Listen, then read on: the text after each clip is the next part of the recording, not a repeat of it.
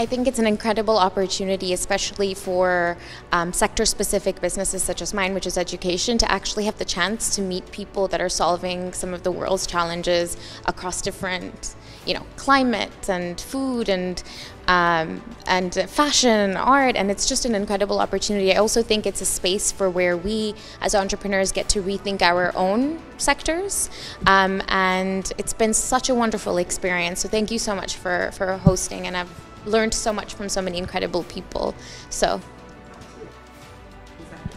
so there's a lot of things and a lot of problems to solve within um, youth and the challenges they face. Um, what I like to do is um, it's overwhelming to think of everything, but there's a larger question to ask over here: is how do we um, create mass social change at a scalable level and that's why we work with governments in identifying what are the key socioeconomic factors that are going to lead to upward mobility because at the end of the day a lot of challenges we face can be solved through upward mobility and the right type of education that gives youth the ability to make informed choices so that's what I would like to focus on when I think about the youth.